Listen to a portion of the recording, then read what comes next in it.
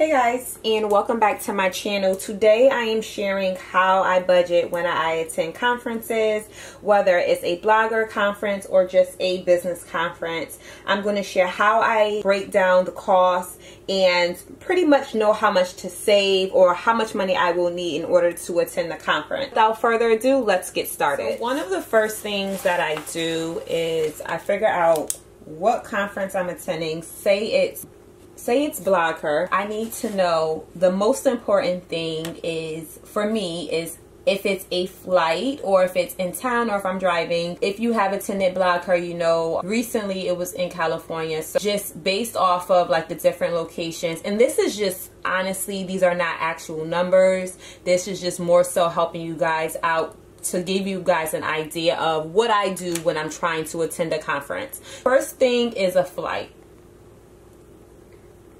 Now, depending on where the flight is coming from, let's say I'm flying out of my airport, we are going to do $400 for the flight. Now the hotel, depending on where the conference is at, the hotel may cost, let's see, 1200 Now, transportation if you if you ever attended a conference before, you know that 90% of the time the hotels do not provide transportation to and from the airport. We are going to just do because that would include tips as well. Or maybe we won't include tips, we'll do tips separately. All right, so transportation to and from the airport. And then a lot of times when you are out and about. The times that there's nothing going on, say nighttime. I know when I attended the mom's the wow summit it was in chicago almost two years ago. People like the day before well was in near chicago. So a lot of people attended you know maybe went on like a day trip. Or if you're getting a rental car this will go under transportation as well. And you would also include gas. Typically i try to avoid driving. So I know is typically to and from the airport. And maybe if I'm going to do some sightseeing depending on what the location is. I'm going to take like a Uber, maybe like a day trip. I'm going to put, or if people are going out to eat and, you know, pretty much know or give an estimate and give yourself a leeway of how much you're going to spend because it's definitely going to vary. If you know you attended this conference and it's like, hey, we're having a, a dinner that Friday, you want to come, or you've, you've heard that's what has happened in the past, make sure you include that in your transportation costs so for transportation, I'm going to put $120 just to give me that leadway. Right now we have flight, hotel, transportation. Food is very important. Not all conferences pay for food. And if they do pay for food, it's typically when the conference is going on. We are going to do $140 for food. And again, if you don't spend this money, it can go back into your, you can do like an actual and then you can do an estimate. So you don't necessarily have to do exactly this amount. And it's good if you oversave instead of undersaving.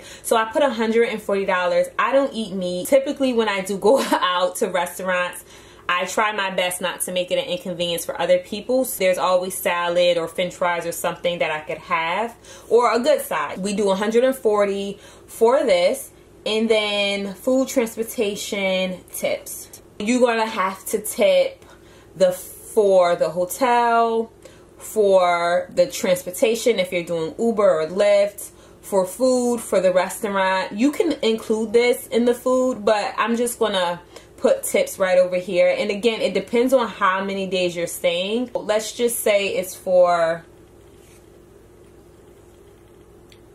four days. We are going to do a $100 for tips.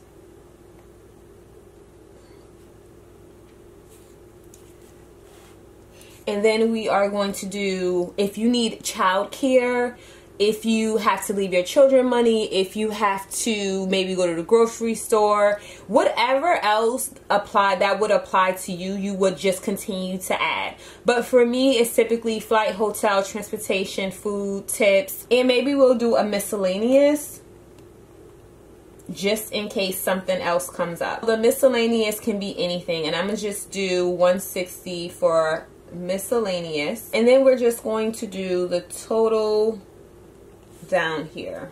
In order for me to attend this conference, it's going to cost pretty much $2,120. Now, how far away is this conference?